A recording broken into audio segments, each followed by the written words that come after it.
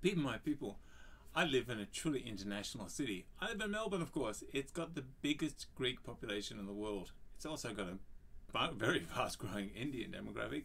So I did the Indian vodka last year, last week. Not last year, it hasn't been that big a, a big a week. So this week, the extra is going to, I'm going to be doing a Greek vodka.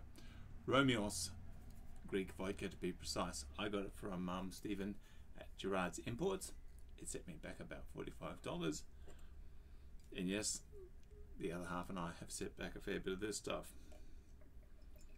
We were drinking it ice cold with a good soda water.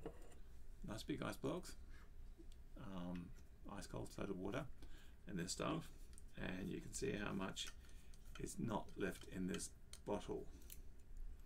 And no, I've been completely miserly. I haven't shared it, almost any of it with my friends. I think they got trying to put the wrong, wrong, wrong lid on my um, bottle, aren't I? The reason why I wouldn't fit. there are days when I disappoint myself, and that at times it's challenging to go doing. So, there's no sound of happiness because it's a screw top. The smell of happiness says, to be honest with you,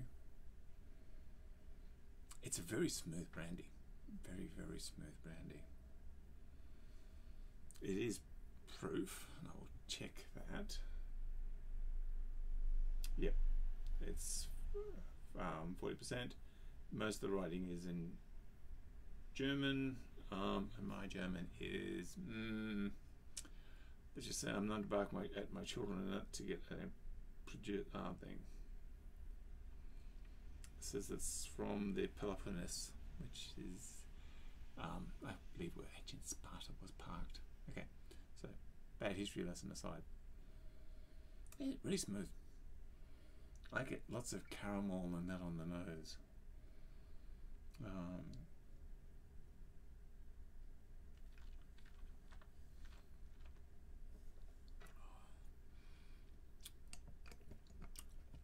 yeah.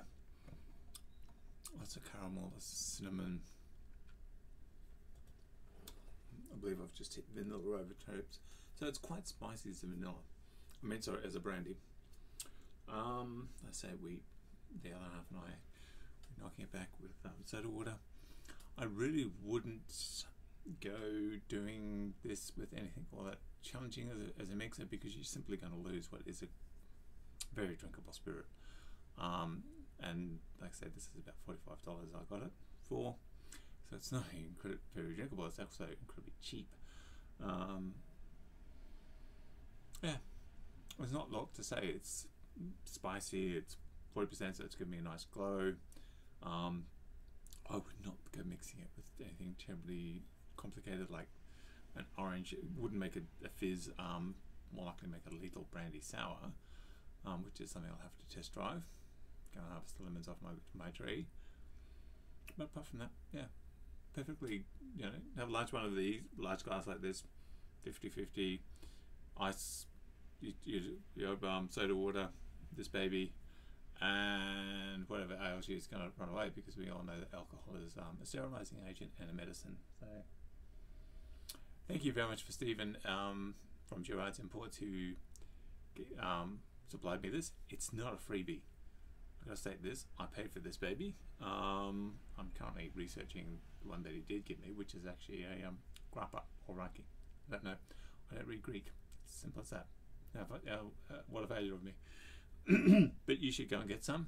I will include the address, um, contact details um, in the write up. Gerard's Imports. Don't know about the website all that well. But thank you, my people. Hit that subscribe and, and follow buttons, and I will catch you around.